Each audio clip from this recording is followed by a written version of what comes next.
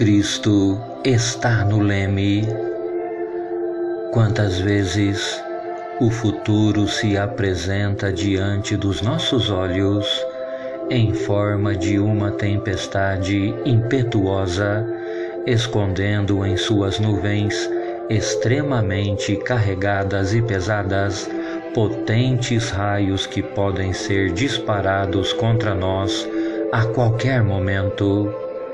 São tempestades internas que se formam entre as linhas que limitam nossa alma e coração, aproveitando-se de conflitos que nos tomam em fases difíceis de nossas vidas, quando, atribulados e angustiados, assistimos ao nosso barco desgovernado navegando pelos mares da vida, com o leme girando sem controle, e nós vamos cada vez mais perdendo a direção, pois por um ou outro motivo deixamos cair nas profundezas das agitadas águas a bússola que outrora nos guiava.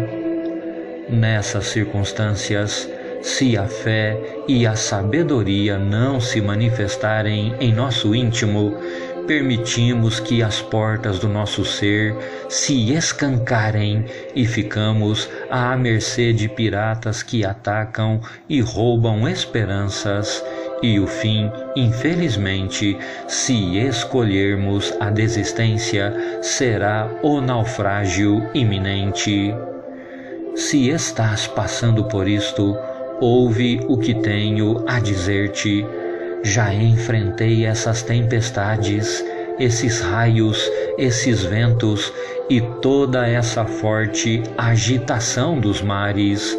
Contudo, minha embarcação continuou na superfície e eu venci, não porque tive forças ou condições próprias, mas porque não me envergonhei e clamei ao Senhor nosso Deus e nem me acovardei quando aqueles que tripulavam o meu barco covardemente me abandonaram.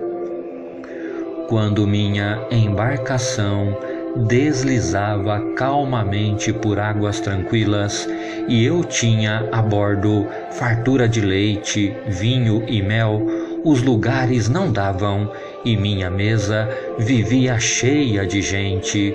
Porém, com a chegada da inesperada tempestade, praticamente todos pularam na água e, ainda por cima, levaram todos os meus botes salva-vidas, deixando-me ao Deus dará.